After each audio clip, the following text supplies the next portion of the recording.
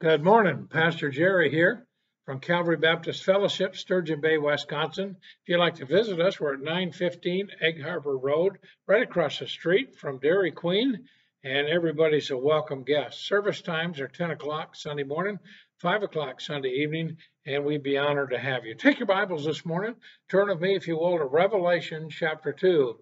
Revelation chapter 2, we're reading verses 1 through 7. Revelation chapter 2, verse 1 through 7. Verse 1 Unto the angel of the church of Ephesus write, These things saith he that holdeth the seven stars in his right hand, who walketh in the midst of the seven golden candlesticks. I know thy works, and thy labor, and thy patience, and how thou canst not bear them which are evil, and thou hast tried them which say they are apostles and are not and has found them liars, and has borne and has patience, and for my name's sake uh, has labored and has not fainted. Nevertheless, I have uh, somewhat against thee, because thou hast left thy first love. Remember, therefore, from whence thou art fallen, and repent, and do the first works, or else I will come unto the, thee quickly, and will remove thy candlestick out of thy place, except thou repent. But this thou hast, that thou hatest the deeds of the Nicolaitans, which I also hate. He that hath an ear, let him hear what the Spirit saith unto the churches. To him that overcometh will I give to eat of the tree of life, which is in the midst of the paradise of God. Father, we thank you so much for your loving kindness. Thank you for Jesus Christ that hung on the cruel cross and died for our sins in our place. And we sure do thank you for that. Thank you, Heavenly Father, for calling us, Christ for dying for us, and then the Holy Spirit for convincing us of a need of a Savior. And reminding us that we're all sinners, reminding us that uh, that we are not righteous, that only God is righteous, and that also that there's a judgment or a penalty to pay for our sins. I pray that you guide today. Help me as I uh, go over the church a little bit here. And we'll just thank you and praise you in Jesus' name. Uh, amen. As we approach Revelation chapters 2 and 3, we find uh, uh letters from Christ to the seven churches as outlined in Revelation chapter 1, verse 11. Turn back with me there. I'm the Alpha uh, and Omega, and first and last and what thou seest, write in a book, and send it unto the seven churches which are in Asia, unto Ephesus, unto Smyrna, unto Pergamos, unto Thyatira, unto Sardis, unto Philadelphia, and unto Laodicea. Here, so these seven churches are real uh, local churches in different locations in the known world. Uh, but they are also representative of the history of the church uh, from the apostles to now. But is the local church really important or relevant for today, especially in America? The word church is a generic uh, word uh, with little or no meaning.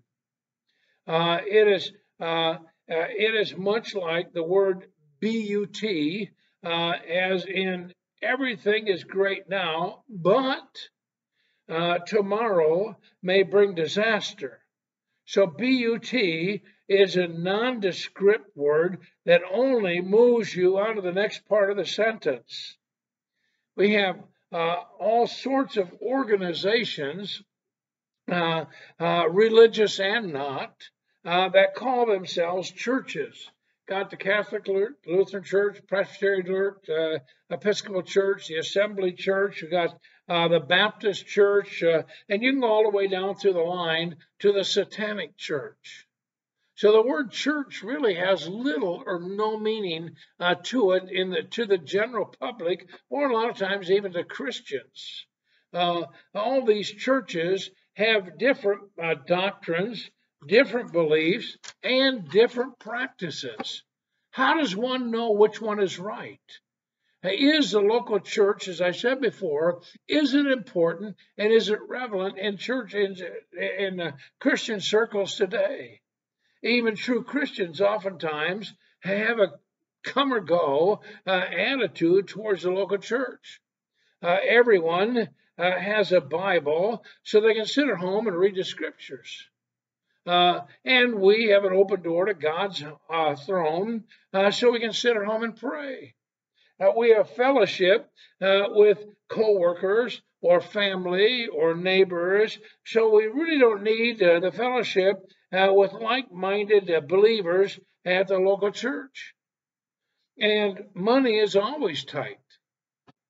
Uh, so I can't afford to give to the church, and you go so on and, and so forth. And I ask the question again is the local New Testament church relevant for today in America? It makes one wonder if we are indeed the last stages of the church called the Laodicean period, where they're rich and uh, they just don't care about spiritual things any longer. And I'm talking about the church. Uh, we find here, so the question arises if I don't get baptized, nor join the church, nor tied to support uh, God's work, uh, nor am faithful to its services, nor involve myself in a ministry within the church, uh, uh is the founder all right with my decision? It's sort of interesting Take a look at Revelation chapter 2, verse 4, if you would please. And notes here, nevertheless, I have somewhat against thee, because thou hast left thy first love. They did. Somehow, God became less important to them, or Christ became less important to them. Uh, it could have been that uh, Christ became a habit, not a life. Or Christ uh, became an old friend, not our Lord. Uh, they uh, became used to Christ. They were no longer amazed. Or uh, life just overcame love. And they left their first love. And I believe that Christians, uh, true born again believers today, God would repeat this verse to most of us. You've left your first love. So we find is the church relevant? is it important today in America? So why don't we continue to pour uh, time, money, prayer, work, and or uh, love into this thing called the local New Testament church? I believe there are some reasons here we could look at. Go back with me uh, to Matthew chapter 16, please. Uh, Matthew chapter 16 here.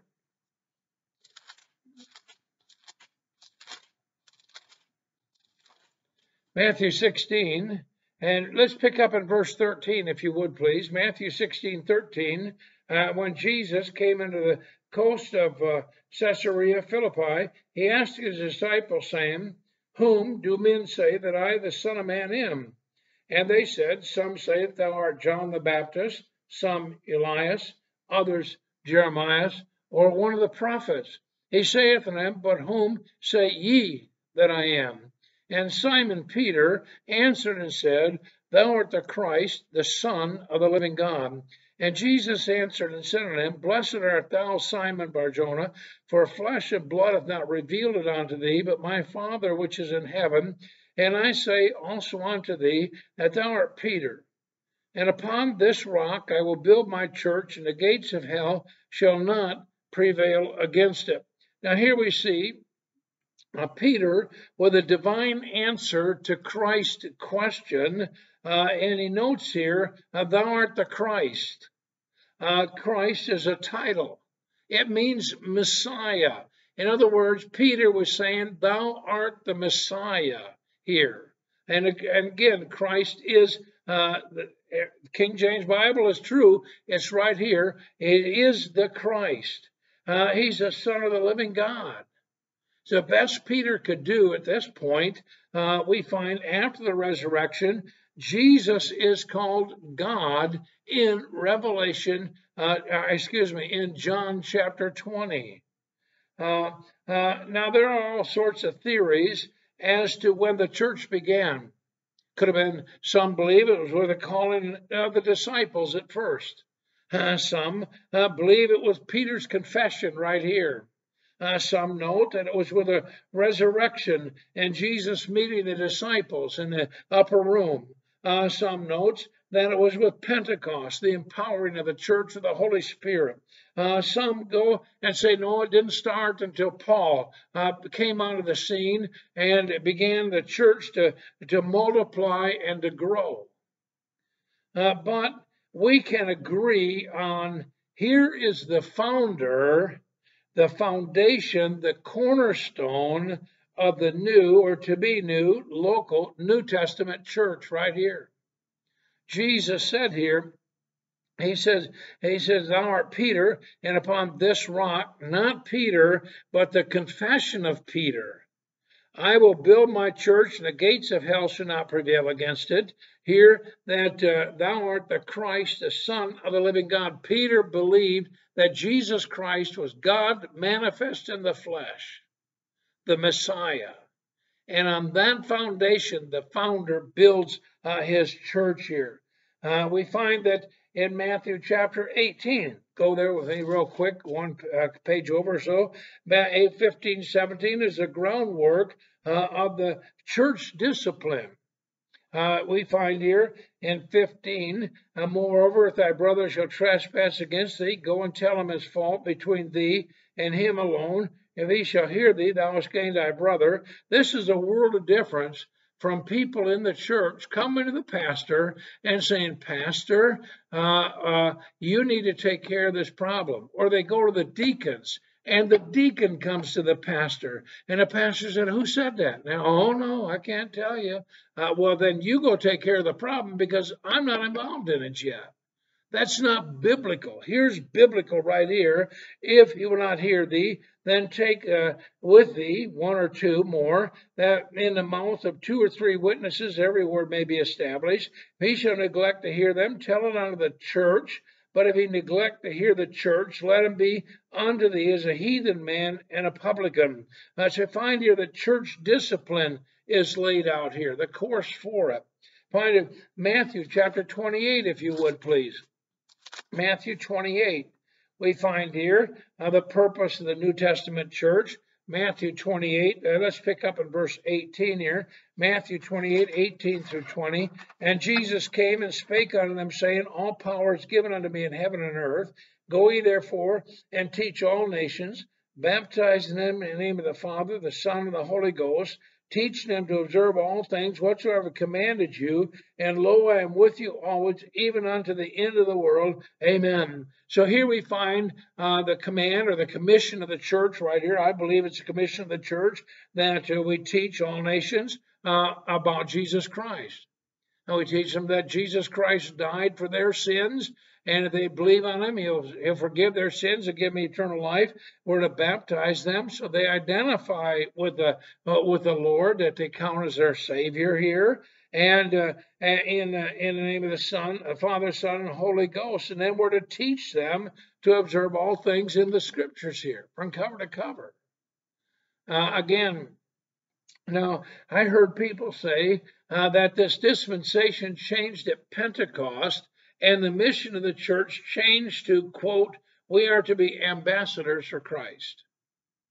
Uh, that Matthew 28 is only for the disciples. But that would be like saying uh, that God told, and if I could use the example here, that God told Dr. Cedarholm or Dr. Les Ollila uh, to start a college and gave them a list of goals within that college. Now be kind, compassionate, loving to the students, teach them the scriptures, teach them Hebrew and Greek, and etc., etc. They have a list uh, to do. So when these two men die, the college no longer has these goals because God gave them to these men only. That's not how it works. Uh, the college, uh, the, the college are to continue or to carry on what God has dictated to their founders or what their founders dictated uh, along to the college. Go with me, if you will. Uh, continue to Acts. Uh, Acts uh, chapter 2 here. Acts chapter 2 concerning uh, the early church here, what I believe is the early church, empowered of the Holy Spirit and uh, we find the disciples. Peter's preaching here. Uh, it's sort of funny. Peter, who denied the Lord thrice because he was he was uh, afraid, now he stands up in public. At least three thousand people were there, and he begins to preach Jesus Christ. And 3,000 get saved. And all of a sudden, Peter's got a backbone. So we find here in Acts chapter 2, verse 41 through 47, let's pick up in 41. Uh, then they that gladly received his word were baptized, and the same day there were added unto them about 3,000 souls. Uh, so people were saved. Uh, that's part of the local church. Uh, they were baptized, and they were added to the church. Uh, now, I looked up this word added. It really it isn't too defined uh, where I can stand up here and say, all right, uh, they had a list of people right here, 120 that were members of the first church, and the 3,000 got saved. They wrote, got baptized. They all joined the church. We wrote down their uh, their numbers here, but nevertheless, they were added to the church. There was some type of form or or mission or goal or uh, some type of program where they were counted as part of the church uh, on this. Uh, so they were baptized. They were added to the church. Verse 42. And they continued steadfastly in the apostles' doctrine and fellowship and breaking of bread and prayers. Noted they continued steadfastly. They were faithful to when the church met there. Now, this church met daily. That'd be a great thing. Uh, but again, uh, we don't meet daily, but when the church is open, when the doors are open, the people or the assembly is meeting, uh, then people ought to be there. They, uh, if at all possible. Uh, they continue steadfastly on the apostles' doctrine, and the doctrine that we have is out of the scriptures, out of the holy word of God. It's not ordained by man. It's not by some book by some famous author down the line. Uh, I've heard of preachers that stand up and preach uh, uh, John Piper or, or uh, MacArthur, and and uh, I don't know if there's anything wrong with them or not. But I'm going to preach out of the Bible, the Word of God, and that's where it is. That's where our doctrine is. Um, I know of a young man uh, that just he sort of stays confused a little bit because he's he's listening to all these preachers uh, on uh, as he as he drives. And what he ought to be focusing on is not those preachers. He ought to be reading the Word of God, and that's where he gets it from. Uh, here. So we find again the doctrine uh, here, the teaching, the fellowship, and the breaking in bread and prayers. They they prayed together. Uh, they ate together here. Uh, we find in verse uh, 44, if you would. Uh, and they all uh, believed uh, to were together and had all things common. There, it was unified. The church was unified. I think one of the saddest things I heard about, and I know it takes place all the time, but still, it, it wasn't my flavor of a church or whatever, but it's still a sad thing to the community to watch a church that splits.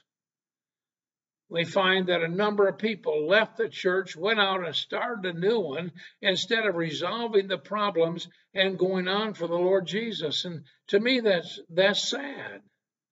Uh, we ought to be unified. Had all, all things in common. Uh, what's mine is what's mine is yours, and what's yours is mine. My wife always says uh, what's mine is hers, and what's hers is hers. Uh, but again, uh, they had all things in common. Um, uh, here, uh, 46, we find and they continued daily with one accord in the temple, breaking bread from house to house, and did eat their meat with gladness and singleness of heart. And yeah, they met in houses. I don't know how they ever got 3,120 people in a house. Uh, maybe the temple, maybe they split up, maybe uh, they were meeting outside, whatever it was but they met together uh, every day here. Uh, 47, they continued daily. Uh, verse uh, 47, uh, praising God, having favor with all the people, and the Lord added to the church daily such as should be saved. So people were getting saved. People were witnessing. The, the church had a, the assembly, the group of people had, had a testimony that brought people in. Uh, a lot of churches today that, that, are trying to bring in uh, those that care nothing for the church and and uh, through uh, some form of uh, music or drama or whatever it is, and if it works and people get saved, uh, I I don't know about that, but but again, there is nothing in the church that the lost desire or look for it even coming. But the church had a testimony here. We said the Lord added the church, but they were praising God. You know, uh, the sad thing is, as pastor, sometimes I stop and I say, okay, uh, how about a testimony? Uh, somebody, did God do anything in somebody's life this week? And I about have to drag it out of somebody. And somebody will finally stand up and say, well, God saved my soul. Well, bless God, that's great. But has God done anything in your life this week? Is there anything that you were moved to do uh, that was sort of fun, uh, whatever, uh, on this? So you find here again uh, that uh, the, the church uh, comprised of saved, baptized, and members of a church. Look at me, if you will, concerning the body of Christ. Let's go to Romans chapter 12. Romans chapter 12 here, if you would.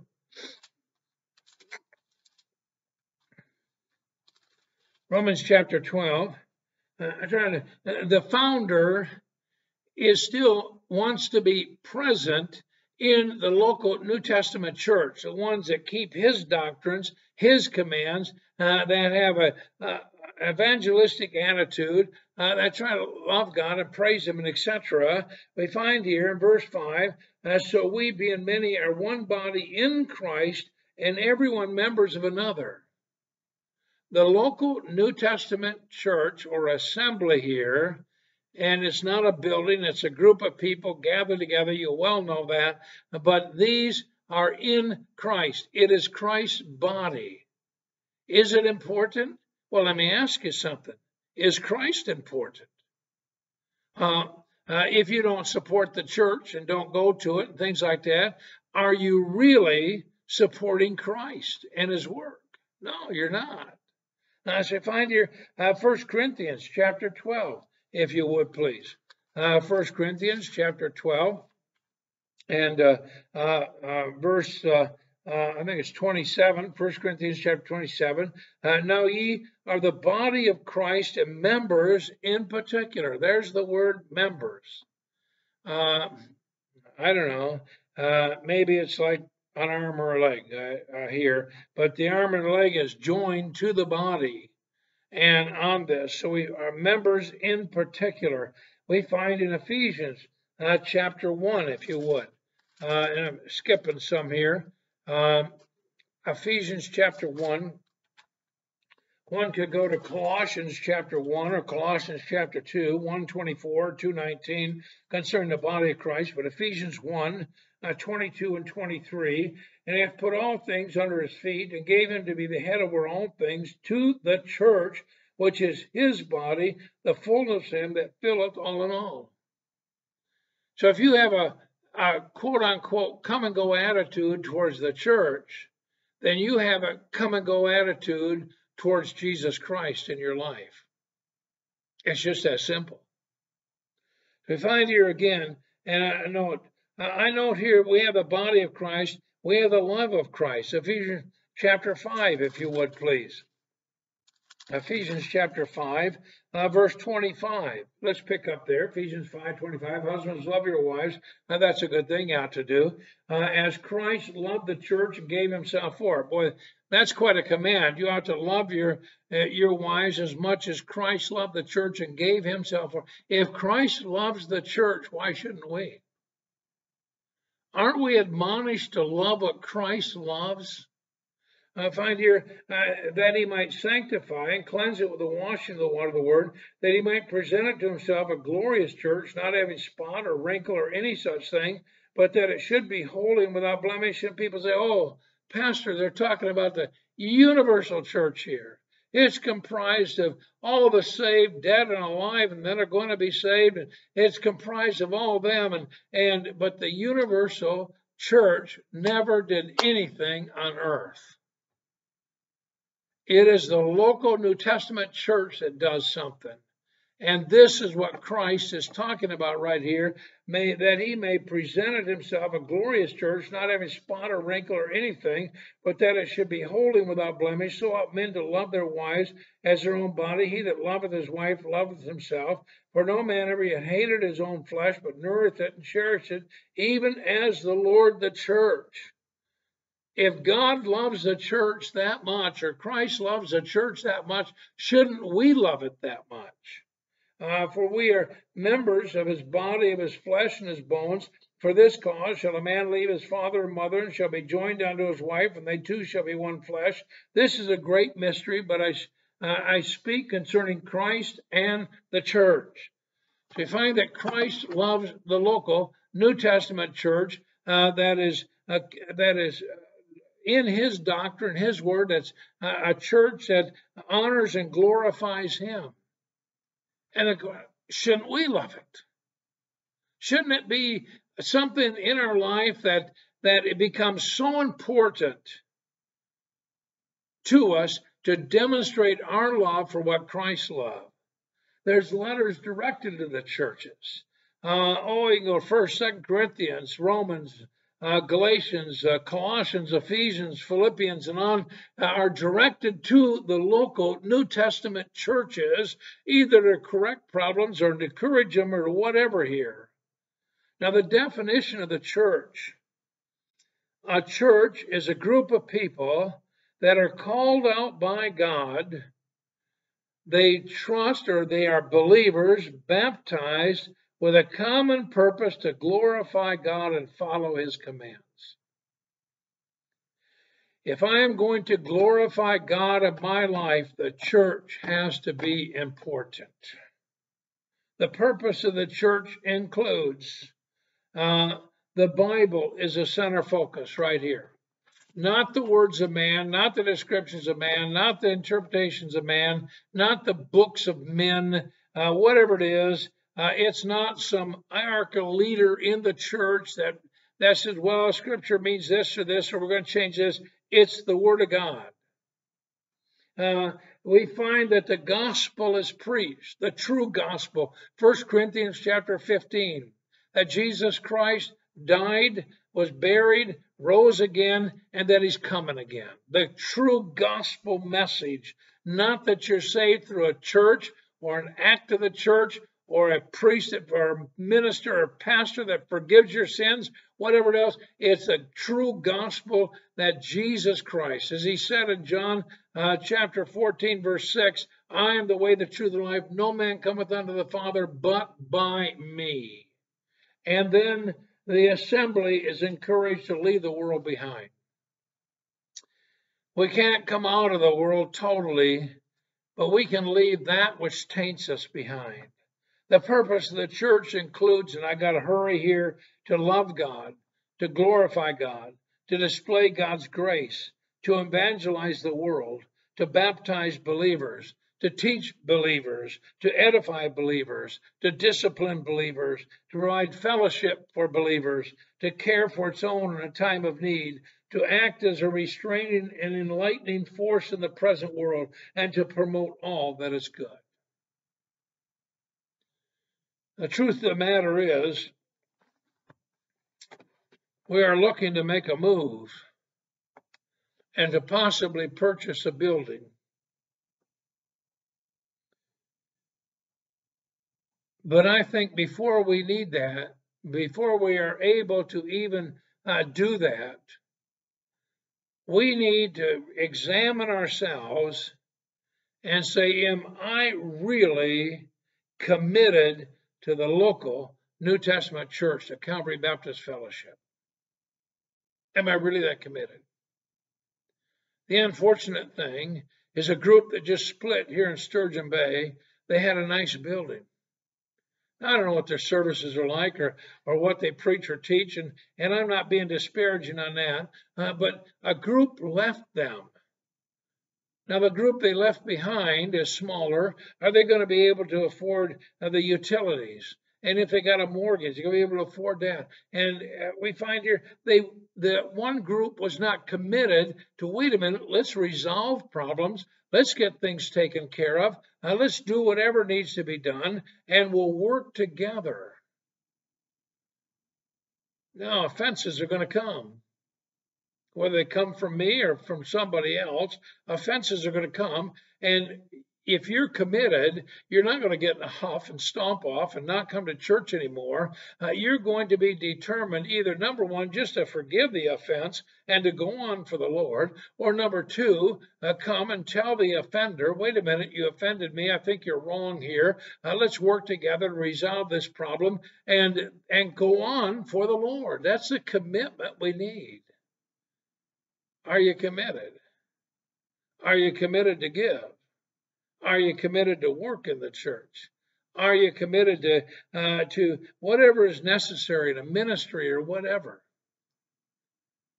Are people committed uh, to uh, being part of the local New Testament church here that we call Calvary Baptist Fellowship? Let's pray. Father, we thank you. Pray that you guide and direct us and help us, Heavenly Father, that Christ might be lifted up and glorified. We love you. we thank you for all things pray that you just direct our footsteps and help us. Father, give us real wisdom on this next step that we're looking to do, whether we should or whether we shouldn't. Father, I pray that you guide her. I pray that, Father, people might, Lord, uh, see a commitment to uh, the local New Testament church that Christ loves. That's his body. And that they be willing, uh, Lord, to follow the Lord in believers' baptism, that they would be willing to join, that they would be willing to uh, tithe uh, to support the church, that they be willing to work in a ministry, that they be willing uh, to do whatever is necessary to see the church go forward. Please help us, Father. We thank you in Jesus' name. Uh, amen.